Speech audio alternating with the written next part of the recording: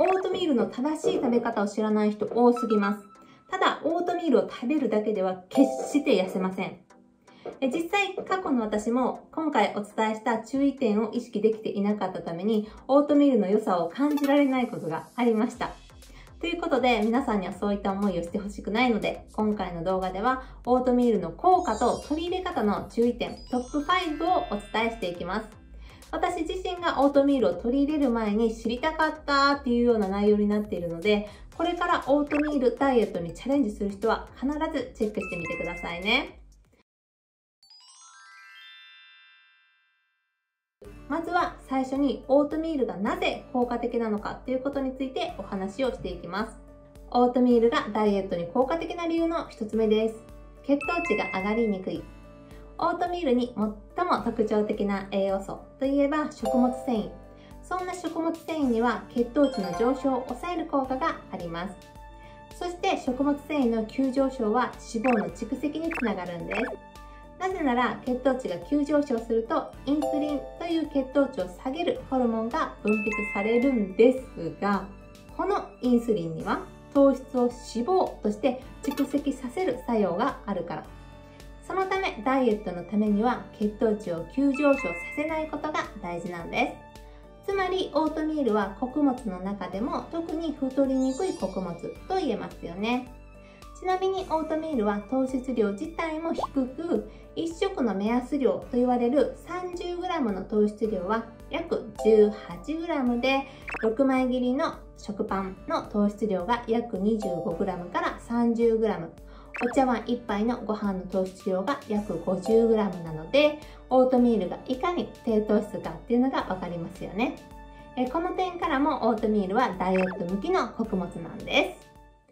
オートミールがダイエットに効果的な理由の2つ目です。デトックス効果が高い。先ほどオートミールには食物繊維が豊富とお伝えしましたが、食物繊維といえば便秘解消効果があることでも有名ですよね。えそしてオートミールには不溶性と水溶性の食物繊維がバランスよく含まれています。そのため効果的に便秘が解消されやすいんですよ。えちなみに水溶性食物繊維は腸の善玉菌の餌にもなるので便秘解消効果だけではなく腸内環境そのものを良くする効果があるんです腸内環境が良くなると栄養の吸収が良くなったり食欲やメンタルを安定させるホルモンが分泌されやすくなるのでダイエットが進みやすくなっていきます。しかも水溶性食物繊維は余分なコレステロールを排出する効果まであるので生活習慣病の予防としてオートミールはおすすめなんです。オートミールがダイエットに効果的な理由の3つ目です。栄養豊富。オートミールには食物繊維以外にも豊富な栄養素が含まれています。特にダイエッターにとって嬉しい栄養素がビタミン B1 です。これは糖質をエネルギーとして活用するために必要な栄養素です。つまり糖質と一緒にビタミン B1 が取れていれば糖質を食べてもすぐにエネルギーとして消費されやすいので太りにくいんです、え、また女性が不足しがちな鉄分が豊富なとこっていうのも嬉しいポイント鉄分が不足すると貧血になりやすいだけではなく細胞が酸欠状態となって代謝が低下するリスクがあるんですそのためオートミールは女性のダイエッターさんには特におすすめの食材と言えます。このようにダイエット効果が高いオートミールなんですが、取り入れ方を間違えてしまうと痩せられない可能性大です。冒頭でもお伝えしたように私も一時期間違えたオートミールの取り入れ方をしてしまっていたために思ったような効果が得られなかったことがありました。また私のダイエット講座の受講生様も同じで良かれと思ってオートミールを取り入れていたのにダイエットが進まないどころかかえって太ってしまったケースもありますということで続いてはオートミールダイエットの注意点をランキング形式で5つお伝えしていきますオートミールダイエットの注意点第5位です他の食べ物も意識する当然ですが、オートミールがダイエットに効果的とはいえ、その他の食べ物を意識できていないと痩せられないし、太ってしまう可能性が大きいです。しかし、オートミールを免罪符にしてお菓子を食べ過ぎている人や、お酒、こってりメニューを食べ過ぎている人、意外と多いですよ。今まで1500名以上の3食90日間の女性のお食事っていうのをね、見させてもらってますけど、多いです。で、オートミールは確かにダイエットをサポートする役割があるんですが、オートミールさえ食べていれば痩せるということはありませんからね。また、いくらオートミールの栄養が豊富とはいえ、オートミールのみで全ての栄養が補われるわけではないので、オートミールはあくまでもご飯やパンなどと同じ主食として取り入れて、その他のおかずも取るようにしてみてください。オートミールダイエットの注意点第4位です。食べ過ぎない。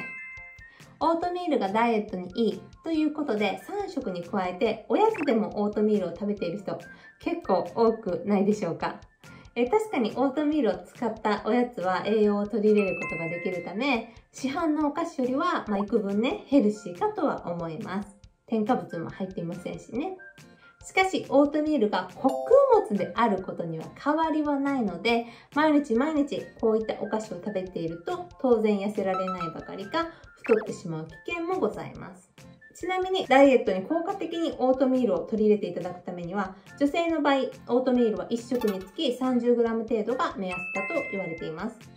少なと思うかもしれませんがオートミールはふやかして取り入れるのが一般的なので水分を含むとしっかり満腹感が得られると思いますオートミールダイエットの注意点第3位です脂肪を落とす効果はないこれも意外と勘違いしている人が多いんですが、オートミール自体に脂肪を落とす効果はありません。つまり、ダイエットのサポートにはなってくれるんですが、脂肪をドバドバ落とすような効果はないということですね。そのため、やっぱりオートミールさえ食べていれば、どんどんダイエットが進むということではないんです。ただ、オートミールがパンやパスタ、白米よりもダイエット効果が高い穀物であることは事実なので、あと健康的にもいいです。美容にもいいです。